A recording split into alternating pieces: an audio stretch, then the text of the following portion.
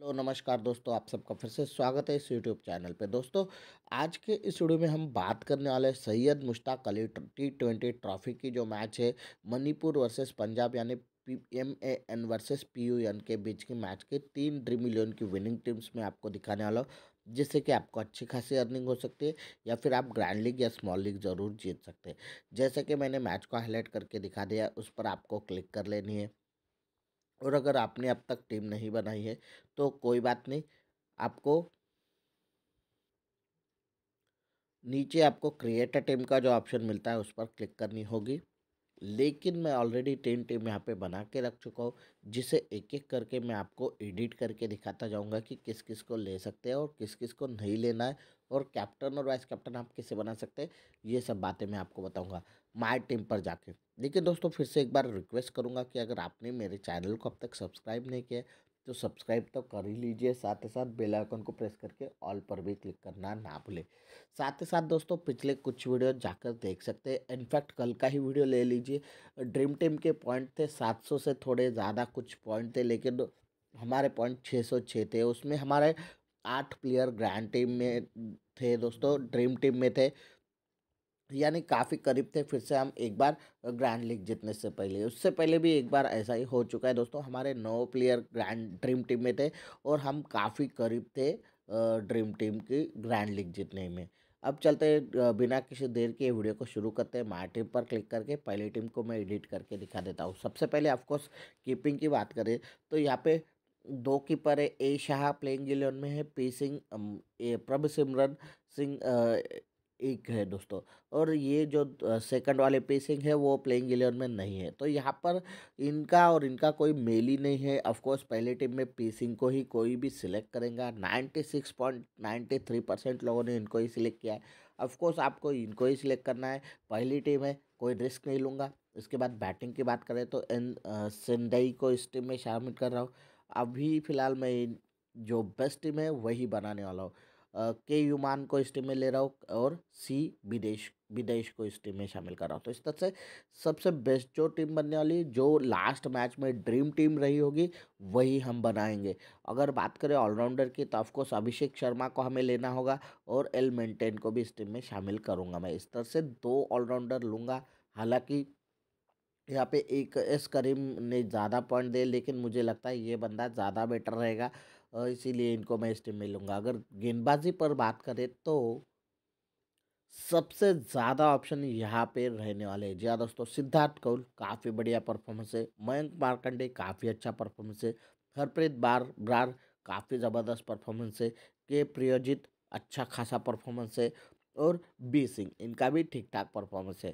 यहाँ पे देख सकते हैं पहले पहले चार में से तीन को तो हम जानते हैं कभी आईपीएल की वजह से, कभी मतलब उनका, इनमें से किसी मतलब मेरे ख्याल से सिद्धार्थ कौल का और मयंक मार्कंडे का इंडियन टीम के लिए भी सिलेक्शन हो चुका है, शायद ब्रार का भी हो चुका है पता नहीं वो प्लेइंग इलेवन में खेले या नहीं, लेकिन इन सब का मतलब परफॉर्मेंस काफ़ी शानदार रहा है तो इनको लेना ज़रूरी है दोस्तों, और इसीलिए पहली टीम में मैं पाँच गेंदबाजों के साथ जा रहा हूँ। कुल मिला के एक अच्छी खासी हमारी टीम बन चुके हैं और कोई रिस्क नहीं लिया है हमने, कोई ये नहीं लिया है, फिर भी अच्छी खासी टीम बन चुके हैं।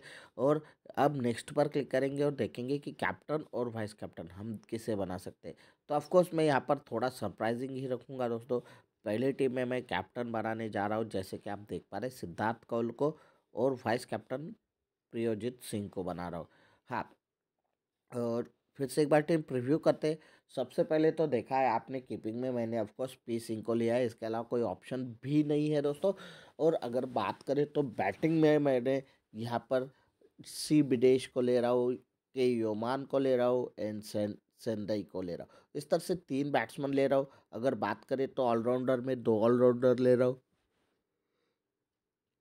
जिसमें ऑफकोर्स अभिषेक शर्मा हर टीम में रहेंगे और एलमेंटन को इस टीम में शामिल कर रहा हूँ। तो कुल मिला के थोड़ा हटके सोचा है यहाँ पर, इसीलिए दूसरा ऑलराउंडर अभी इस टीम में मैंने रहने दिया गेंदबाजी की बात करें तो सिद्धार्थ कौल है, बी सिंह है, उसके बाद मार्कंडे है, हरप्रीत ब्रार है, की प्रियजित को भी, के प्रियजित को भी इस टीम में शामिल कर रहा हूँ। तो कुल मिला के पाँचों गेंदबाजों ने शुरुआती मैचों में काफ़ी ज़बरदस्त परफॉर्मेंस किया है। जी हाँ दोस्तों, पाँचों मैच ने पहले मैचों में काफ़ी ज़बरदस्त परफॉर्मेंस किया है। एक को अगर छोड़ दिया जाए तो पर उनको भी मैं इस टीम में ज़रूर शामिल करूँगा, क्योंकि मुझे लगता है वो भी काफ़ी ज़बरदस्त प्लेयर है।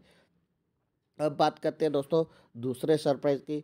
तो मैं यहाँ पर गेंदबाजी में सिद्धार्थ कौल को कैप्टन बना रहा हूँ तो वही के प्रियोजित सिंह को वाइस कैप्टन बना रहा हूँ। जी हाँ दोस्तों, आप थोड़े चौके ज़रूर होंगे। हाँ मैं एक बात और कहूँगा कि सिद्धार्थ कौल को काफ़ी ज़्यादा लोगों ने पसंद दी एज ए कैप्टन और वाइस कैप्टन और वाइस कैप्टन। लेकिन के प्रियोजित सिंह को किसी ज़्यादा किसी ने परफॉर्मेंस के दम पर नहीं किया है एज ए कैप्टन या वाइस कैप्टन। लेकिन मैं इनको ज़रूर करूँगा दोस्तों। एक, देख सकते हैं, सिद्धार्थ कौल सुरक्षित है मतलब काफ़ी लोगों ने किया है तो कोई प्रॉब्लम नहीं इनको कैप्टन बनाने में। लेकिन दोस्तों, के प्रियोजित को ज़्यादा लोगों ने नहीं किया है और उनको मतलब सभी ने इग्नोर कर दिया है। लेकिन दोस्तों, अगर सोचिए हम अगर इनको कुछ बना देते कैप्टन और वाइस कैप्टन और सच में अच्छा परफॉर्मेंस कर देते तो फ़ायदा किसे होने वाला हमको होने वाला इसी वजह से यही पॉइंट सोचकर मैंने इनको क्या, वाइस कैप्टन बनाया है। ताकि आपको ज़्यादा से ज़्यादा पॉइंट मिल सके। आप इनकी वजह से ग्रैंड लीग भी जीत सकते हैं, अच्छी खासी अर्निंग भी कर सकते हैं। तो कुल मिला के आपको समझ में आ ही गया होगा, इस टीम को आप ग्रैंड लीग के लिए भी यूज़ कर सकते हैं स्मॉल लीग के लिए भी यूज़ कर सकते हैं। दोनों लीगों के लिए बेस्ट टीम रहेगी दोस्तों, दोनों लीगों के लिए ट्राई करेंगे तो ज़्यादा बेटर रहेगा। फिर भी अगर आप एक ही लीग लगाते हैं तो सिर्फ़ ग्रैंड लीग लगाइएगा स्मॉल लीग मत लगाइएगा। इस टीम को अभी क्लोज करते सेव कर लेते हैं और दूसरी टीम में आपको दिखा देता हूँ।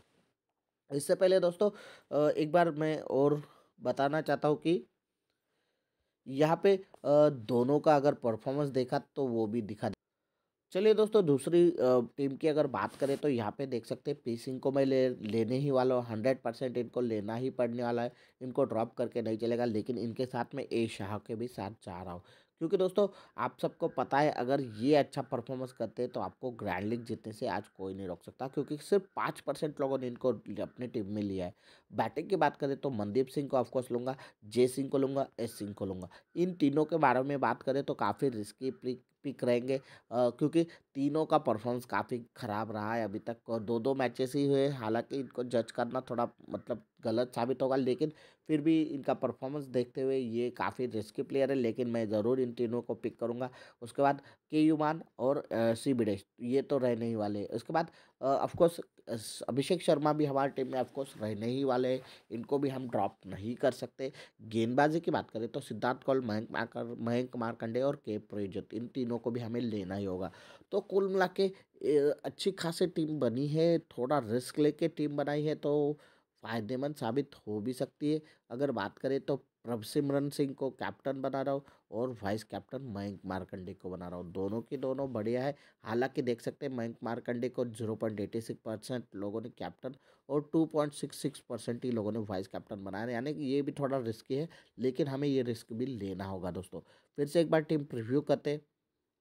सबसे पहले प्रभसिमरन सिंह को लेना ज़रूरी है, ए शाह को ले रहा हूँ उनके साथ साथ उसके बाद बैटिंग में पाँच बल्लेबाज ले रहा हूँ, एस सिंह, एम सिंह, शिवरेश, जय सिंह और के युवान पाँचों और दो कीपर। और इसके साथ साथ अगर हम बैटिंग में अभिषेक शर्मा को भी पकड़ लेंगे तो यहाँ पे मेरे पास कुल मिला के सभी वो बैट्समैन है, जो कि अच्छा खासा परफॉर्मेंस कर सकते हैं, जो कि अच्छे खासे बैटिंग कर सकते हैं। यानी बैटिंग के पॉइंट आपको आज फिक्स मिलने वाले कोई भी बल्लेबाज अच्छी बैटिंग कर ले। तो इसी वजह से यहाँ पर इस तरह से मैंने थोड़ी अलग और हटके टीम बनाई है। गेंदबाजी की बात करें तो सिद्धार्थ कौल है मयंक मारकंडे और के प्रिजत सिंह को ले रहा हूँ। तो कुल मिला के एक अच्छी खासी टीम बनी है, एक थोड़ी रिस्क रिस्क की टीम बनी है, पहली टीम रिस्क फ्री थी, लेकिन इस टीम को फुल मैंने रिस्की बनाया है, लेकिन इसी वजह से आप ग्रैंड लीग जीत सकते हैं। जी हाँ दोस्तों, ग्रैंड लीग के लिए इस टीम को आपको हंड्रेड परसेंट यूज़ करना है, स्मॉल लीग के लिए आपको इस टीम को हंड्रेड परसेंट नहीं यूज़ करना है, क्योंकि काफ़ी ज़्यादा रिस्क है दोस्तों। और या, मैं रिस्क की टीम आपको ग्रैंड लीग के लिए तो बता सकता हूँ, क्योंकि ग्रैंड लीग में आप जितना रिस्क लेंगे, उतने चांसेस रहते हैं आपके जीतने के, लेकिन स्मॉल लीग में वैसा नहीं रहता रहता है दोस्तों। अगर हम रिस्क ले लें और वो हमारे सही नहीं पड़ते तो हमारी पैसे चले जाते हैं, लेकिन वैसा ग्रैंड लीग में नहीं रहता है दोस्तों। काफ़ी चांसेस रहते हैं कि आपके पैसे वापस आपको मिलने ही वाले तो लेकिन अगर अच्छी टीम पड़ जाए, रिस्क, हमने जो जो प्लेयर रिस्क लिए वो अगर अच्छा खेल जाए तो हम ग्रैंड लीग जीत सकते हैं। जी हाँ दोस्तों ग्रैंड लीग जीत ही सकते हैं। साथ ही साथ अगर नहीं भी जीतते तो अच्छी खासी अर्निंग हमें मिली, मिल जाती है। अच्छे खासे रैंक लेकर, हम अच्छे खासे पैसे कमा सकते हैं तो इसीलिए इस टीम को ग्रैंड लीग के लिए यूज़ करेंगे तो ज़्यादा बेटर रहेगा। स्मॉल लीग के लिए बिल्कुल भी यूज़ नहीं करना। अगर बात करें कैप्टन की तो यहाँ पे देख सकते हैं, पी सिंह को मैंने कैप्टन बनाया। जैसे कि आपको इस, इनके परफॉर्मेंस के बारे में, इन्होंने अभी तक बैटिंग में दो मैचेस में, एक मैच में तिरयालीस मतलब फोर्टी थ्री बॉल में चौहत्तर रन बनाए, जहाँ पे छः छक्के और दो चौके लगाए। वही दूसरी मैच में भी इन्होंने फोर्टी थ्री ही गेंद में, फो, फिफ्टी सेवन रन बनाए। जहाँ पे इनके बल्ले से छः चौके और तीन दोन चौके निकले थे दोस्तों। तो कुल मिला के एक मैच में इनको एक सौ चौहत्तर का स्ट्राइक रेट था एक मैच में इनको 132 का स्ट्राइक रेट था एंड दोनों मैचेस में इन्होंने 50 लगाई है और साथ ही साथ कीपर है तो एक्स्ट्रा पॉइंट हमें दे सकते कैचिंग स्टंपिंग या रनआउट के तो कुल मिला के काफ़ी खतरनाक परफॉर्मेंस रहा है तो इनको कैप्टन बनाना ज़रूरी है कहीं ना कहीं। वही वाइस कैप्टन फिर से मैंने रिस्की बनाया है। जो कि मयंक मारकंडे को बनाया है दोस्तों। एक मैच में एक विकेट है, एक मैच में दो विकेट है। दोनों बार ड्रीम टीम में थे और सबसे बड़ी बात है, दोनों बार इनकी इकोनॉमी काफ़ी ज़बरदस्त रही है। एक बार तो उन्होंने छः की इकोनॉमी दी है और एक मैच में छः पॉइंट पिचहत्तर की इकोनॉमी दी। तो कुल मिला के इनकी इकोनॉमी काफ़ी ज़बरदस्त रहती है दोस्तों और ऑफकोर्स इनको, जिनकी इकोनॉमी कम रहती है दोस्तों, उनको बल्लेबाज या फिर शॉट्स लगाना पसंद करेंगे क्योंकि इनको मतलब रन लेने की कोशिश करेंगे तो ज़्यादा विकेट भी दे सकते हैं तो इसीलिए इनको वाइस कैप्टन बनाना काफ़ी फ़ायदेमंद साबित होने वाला है। दोस्तों, फिर से कहूँगा, इस टीम को सिर्फ़ ग्रैंड लीग के लिए यूज़ कीजिएगा, स्मॉल लीग के लिए बिल्कुल भी यूज़ मत कीजिएगा। इस टीम को अभी क्लोज कर लेते सेव कर लेते तीसरी और आखिरी टीम भी दिखा देता हूँ, यहाँ पर थोड़ा हटके और टीम बनने वाली है दोस्तों। यहाँ पे फिर से पी सिंह मतलब प्रभसिमरन सिंह को ही लूँगा एज ए विकेट कीपर बाकी किसी और को नहीं लूँगा। बैटिंग पर बात करें तो ए सिंह को लूँगा, उसके बाद के युमान को लूँगा और सी बिडेश को फिर से लूँगा। यहाँ पर फिर से एक और चेंज मैंने बैटिंग में कर लिया। अब यहाँ पे हट के जो टीम बनी है, यहाँ पर सबसे ज़्यादा मैंने ऑलराउंडर्स लिए है हालाँकि परफॉर्मेंस में ज़्यादा कुछ खास नहीं है। अभिषेक शर्मा को तो ऑफकोर्स लेना ही है। आर राजकुमार को लूँगा। उसके अलावा के एस करीम को भी लूँगा और पी मान को भी लूँगा। परफॉर्मेंस ठीक ठाक रहा है। बाकी तीन जो ऑलराउंडर्स हैं उनका। लेकिन एक टीम में हम इनके साथ जा सकते हैं, इन पर भरोसा कर सकते हैं, दाव लगा सकते हैं। इसके अलावा बॉलिंग की बात करें तो ऑफकोर्स सिद्धार्थ कौल रहेंगे। इस बार मयंक मारकंडे को ड्रॉप करके हरप्रीत ब्रार को इस टीम में रखूँगा और के प्रियजित सिंह तो हमारे पास रहेंगे। यानी यहाँ पर भी हमने चेंजेस कर लिए। फिर भी अगर आपको यहाँ पे कुछ और चेंजेस करना चाहे तो आप ज़रूर कर सकते हैं, लेकिन अभी फ़िलहाल हम नेक्स्ट पर क्लिक करेंगे और देखेंगे कि कैप्टन और वाइस कैप्टन हम किसे बना सकते हैं। तो यहाँ पे मैंने अभिषेक शर्मा को ऑफकोर्स कैप्टन अभी तक नहीं बनाया था। इनको कैप्टन ज़रूर बना लूँगा, फिर से एक बार रिस्क लूँगा कि युवान को वाइस कैप्टन बना रहा हूँ। हालाँकि परफॉर्मेंस इनका भी अच्छा खासा रहा है, फिर से एक बार टीम प्रिव्यू कर लेते।